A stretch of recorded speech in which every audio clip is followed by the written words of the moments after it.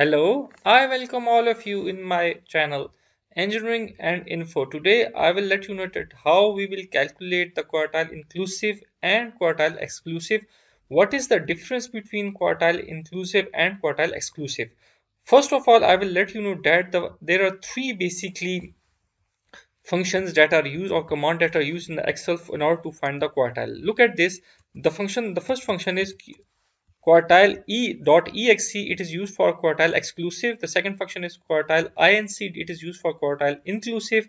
And the third function is quartile. The most important thing is that the quartile and the quartile dot inc quartile inclusive are the same thing. Okay? So first of all i will what you i will use the quartile and let you know that the quartile and the quartile inclusive are the same thing. So I will have the formula saying select the array. So this is my array or this is my data. Then I will the quartile the, then the formula says which quartile you need. So I need my first quartile. I will write one close the brackets press enter i got my first quartile then i will verify whether the first that whether the formula of the quartile and the first quartile is same or not so i will write again quartile dot inc I will select the array. Array means the data and then I press the comma. Then again I will have to select the first quartile. Uh, find the first quartile. So I will select 1. Then bracket close. Look at this. We got the same values. Same is the case. I will do it uh, for Q2 or Q quartile number 2 is the median. So I will select the data. I will press the 2 that I need uh, median. So look at this and then I will find again the median using the quartile inclusive command. And it will be result same and it will result in 52 look at this. We got 52 then I will find the quartile number 3 using the quartile command. So uh, for the quartile command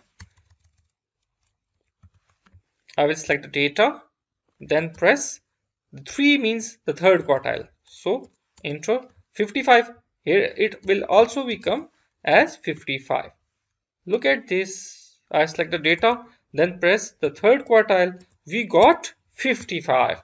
Then how we will find the interquartile? The interquartile will be found out as it is written that we will have to subtract the third uh, first quartile from the third, uh, third quartile. So I will select first the third quartile minus first quartile. It will become 5.5. Same is the case I will do here. I will subtract the first quartile from the third quartile. So I will select one first, the third quartile minus uh, first quartile. Okay. Just look at this. So like this, we have calculated the first quartile, second quartile, third quartile, and interquartile range for the same data by using you uh, two different commands. Now I will I will find the quartile exclusive values and then I will let you know that what is the difference between quartile exclusive and quartile inclusive. So the formula for the quartile uh, exclusive is quartile dot exe.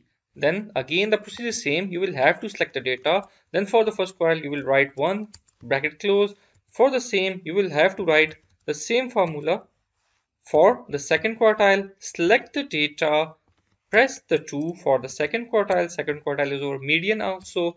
Then write quartile exclusive and select the data press comma 3 bracket close and then uh, find the third quartile by subtracting the q3 minus q1 okay? So look at there there is a huge difference between the between all of the values between quartile inclusive and quartile exclusive. Now i am ending with this video by uh, the last difference between quartile inclusive and quartile exclusive. The difference is that quartile inclusive includes the first and the last value in the calculation while the quartile exclusive does not include first and last value in the calculation. Okay? And then again you can uh, verify this that by using the quartile INC formula, okay, you can measure the minimum and maximum of the data. Look at this. If I select the zero, I can find out the minimum of the data. When I go to the minimum of the data of to find the minimum of the data using the quartile exclusive function. Look at this. When I select the data and then I press the comma, there is no option for selecting the minimum or maximum value okay so this was the difference. Look at this. Again i'm going to find the um, maximum value using the quartile inclusive formula. Look at this comma. So if I select 4 there I will get the maximum value of the data. Okay look at this. I will get 60 so this was all about how we can calculate the quartile inclusive quartile exclusive how we can uh, find out the interquartile range what is the difference between quartile inclusive and quartile exclusive? I have explained each and everything in this video. Hopefully you have liked this video. If you like this video kindly press the like button subscribe to my channel and if you have any questions you can do comments.